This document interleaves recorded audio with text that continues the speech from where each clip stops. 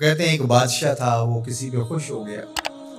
तो उसने उसको कहा कि, तुम मेरे महल में दाखिल हो जाओ और शाम तक जो मेरे महल से तुम इकट्ठा कर सकते हो, तुम उसको जो है वो अपने लिए लेके जा सकते हो। तो वो जब महल में दाखिल हुआ, उसने देखा कि अनवा अकसाम के खाने हैं, तरह तरह की चीज़ें हैं और आली नस्ल बिस्तर लगे हुए हैं, गौ तकिए लगे हुए और, हर तरह की इंसानी तबा को लिभाने वाली चीज़ें मौजूद हैं। नफ्स के तलज़ के लिए सारे सामान मौजूद हैं।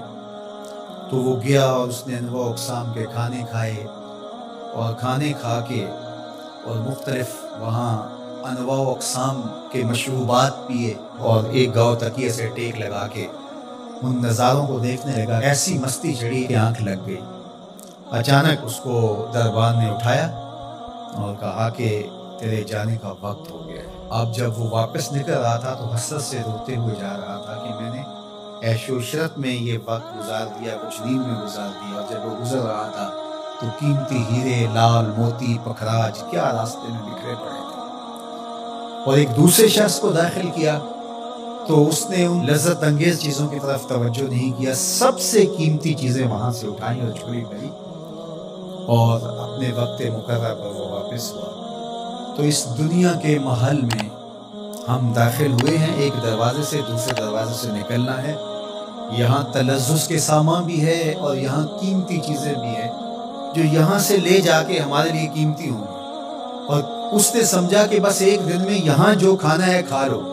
जोहरतुल हयात दुनिया से कहते और दूसरे ने कहा कि यहाँ तो भूख काट के जैसे भी तो मैं जहाँ जा रहा हूँ, यहाँ से जितनी कीमती चीज़ें उठाई जा सके, उसको उठा के वहाँ के लिए ले जाओ अब इस दुनिया के महल्ले में उतरे हैं, यहाँ से ऐशो इशरत करके जब अचानक मौत का फरिश्ता कहेगा, तेरा वक्त खत्म हो गया, आ जा। और फिर खाली हाथ होगा, पास कुछ भी नहीं होगा, दामन भी खाली होगा। इतना कुछ था। एक सुबहान अल्लाह का ही इतना वज़न था कि मीजान भर जाता है। अल्हम्दुलिल्लाह का ही इतना वज़न है कि ज़मीन और आसमान के दरमियान जो जगह हैं उसकी जजा से भर जाए। लेकिन हम दुनियावी तलजुस में रहे और थोड़ी सी ज़िंदगी थी। जब फरिश्ते ने झंझोड़ा तो आँख उस वक्त खुली और ये क्या कर दिया हमने?